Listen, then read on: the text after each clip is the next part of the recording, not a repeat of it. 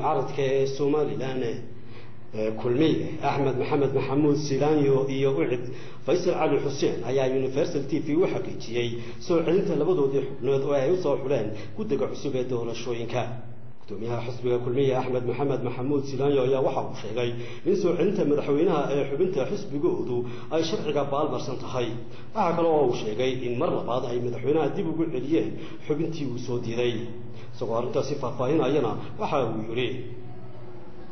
Markii aanu la hadalay yaanu madaxweyne miyay kugu adkaatay maxaa ma inaad xubnahaagii buuxsaa kugu adkaatay maxaad u runweyday saaka wuxuu noogu jawaabay waraaq baa idiin soo qoray kuwiiniiba kuwiinii baa soo ceshay marka waraaq baa xafiiska intaanu joogno noo timid uu soo qoray uu xubintaydii nagu soo celinayo. Sidaan kaga warqabana uu guurtida iyo xisbiga kale u cidna uu ku celinayo xubnahoodii. Anigu waxaan ka jawaabayaa taayadii marka anigu jawaab baan u qoray marka ugu horreysa waxaanu aragnaa arrinta horta inuu inay tahay inayn ku socon spiritkii ama ruuxii wada shaqaynta ahaa ee ummaddu ay dadejisanaysay sidii heshiiskii la wada galay loo fuliyo ruux la socda ma aha waa qodob.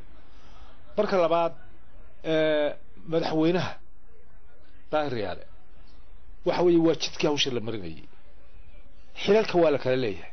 Xubnaha commissionka doorashadooda soo celintooda iyo soo celinaantooda waxaa sharci u leh oo keliya baarlamaankaa sharci u leh. Weliba intaan baarlamaanka hor fadhiisan baa guddi baa xulaysa marka hore kala eegaysa inay sharciga ku fadhiyan ku fadhiyin jidkuu fadhiistay wuu halqafay isagaa yidhi anaa eegaya inay sharciga qodobkaa ku fadhiyan qodobkaa ku fadhiyan taa waxaa leeyahay sharci u haysto u leeyahay ma jirto inuu isagu xulo oo kala safeeyo oo cidduu doono soo celiyo oo cidduu doono gudbiyo. Xaqu ma laha waa jidkii ay maraysay inuu isagu gudbiyo oo u gudbiyo golaha baarlamaan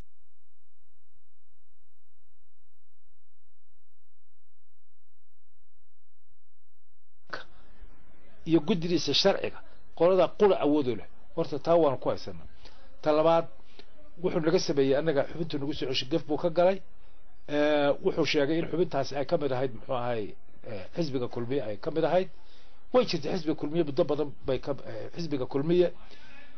Beri hore u qabsaday muddo dheer baa ka sokeysay waqtigii uu qabsaday shirweynihiisii uu qabsaday. Ta uu sabab ka soo dhigto yidhi waa tii ka shaqaysay shirweyne. Intii ka dambeysay shirweynaha waxaa jira xubno fara badan oo sababo kala duwan uga baxay xisbiga kulmiye ama hoggaankiisa ilaa shirkiisii golaha dhexe ugu dambeeyey oo xubno badan ay ka mid yihiin maanta. Xisbiga udub laftigiisa ay ka mid yihiin cali guraya ay ka mid yihiin rag badan oo lawada ogyo la wada yaqaano caana ay ka wada mid yihiin. Marka gabadhaana waxaan u sheegnay oo uga warranay inay beri hore xisbiga iyadoo danaheeda gaara ka shaqaysanaysa ay ka ruqsaysatay xisbiga iyo hawla iyada u gaara dana ay leedahay daraadooda uga tagtay nagana ictidaaratay imankana aanu baranayna hawsha iyadu ku soo noqoto. Marka taana proofkeedi iyo qoraaladeedii waanu u gudbinay. Marka waxaanu leenahay madaxweyne aanu ku guubaabanayna mar kale. Inaanu waynu ogeyn hawsha aynu ka soo gudubnay. Inaanu de carqalad ku noqon mar kale habsamo socodka howlaha iyo heshiiskii la wada galay. Gudoomiyaha xisbiga u ciiday faysal cali xuseen ayaa isaguna dhinaciisa waxa uu ka sheegay in aanu jirin sharci madaxweynaha u ogolaanaya soo celinta xubnaha loo gudbiyo. Balse taasi ay xaq u leeyihiin buu yidhi golaha wakiiladu. Waxaana uu carabka ku dhuftay in aanay xisbi ahaan diyaar u ahayn mar dambe muran dambe oo jiitan dambe sii keenaa saaka tobankii baan warqadii kayay markaan arkay dee inuu waktiga dhacayo dibadoo dhan laga soo qaynaya dadkii doonayso dhan soo qaynaya maraykankii washington ka hadlay. Nairobi ka hadleen. Ingiriiskaa soo hadlay. Wixii o dhan waa maxaa qabanaysaa marka waxa weeye horta warqadaha waa la sheegayaa. Mid baan laakiin dii sheegayaa madaxweynuhu meel ay sharciga ka taalo uu soo celin karaa ma jirto.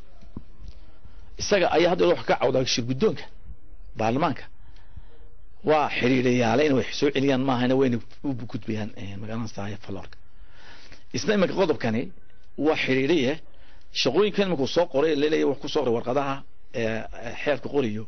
Waa qodobada guddida daaqiligu xaq u leedahay inay baadho. Isagu waxa weeye protocol ahaan baa la marinaya.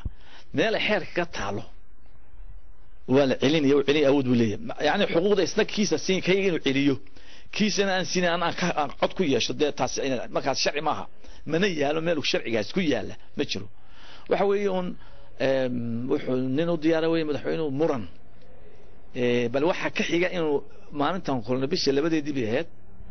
Ma ilaa maanta waa bisha tobankeedii. Hadduu wax ka qabo muu noo yeedho. Waan ergaan diray wasiiraan diray kaalay aan isku nimaadno.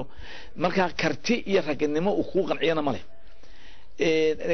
dhegaysi madaxweynenimo wuxuu keenay aad kala doodi karta ma leh. Waxaan waxaad moodaa kalluun ka soo baxay bad. Yani kalluun bad ka soo baxay uu gelgishaa. Mar hadduu infire markaa ka soo baxo loo nacameynayo gurihiisa wasiirada iyo dadkiisa. Qof ka ra'yi duwan yimaado ninkii gelgiisa waxaad arkaysa in anka furtiba adaa naxayo iska tagin? Dee marku aragtay inaanu inaan wada fadhino oon sheekaysano oon wax isweydaas u diyaarhayn waad naxaysa marka waxa weeye waa masiibo ilahay noo soo diray subxaana wa tacaala. Ilahay wax kamay noqotaa ilahay nagaga furfuro magana si si hawl yar. Waxaan anagu la qasani mayno. Wuxuu doonayaa muran. Muran buu doonayaa isku celcelinuu doonayaa. Si allah ninkaasi aanu geedna inagaga gaban. Inaan anagu wax allaale wixii aanu ninka aan ka suurtagelina doorasho. Sax. Iyo ku isticmaalaya. Marka waxa weeye anagu xubda waanu ka tashanaa laakiin kuna waxaan inaanu ninkaa la murano oon muran dambe la galo anu diyaarumahi gudoomiyaha golaha guurtida somalilan oo saaka la xidhiidhnay isla markaasina aan weydiinay bal in xubnahoodii wax la soo celiyey iyo in kale ayaa waxa uu waqtigaasi noo sheegay in aan ilaa hadda wax lagu soo celin. Hase haatee warar kale oo laysla dhex marayo ayaa waxay tibaaxayaan in labadii xubnood ee guurtidu ay gudbisay laftooda xubin ka mid ah la soo celiyey axmed xuseen warsame